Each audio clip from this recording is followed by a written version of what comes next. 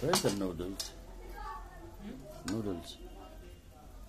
Oh, this is special noodles from Thailand. It's only 15 baht the whole packet, and it's fucking massive. Hmm. It's very cheap to cook, you know. Very easy with this thing. 270 baht.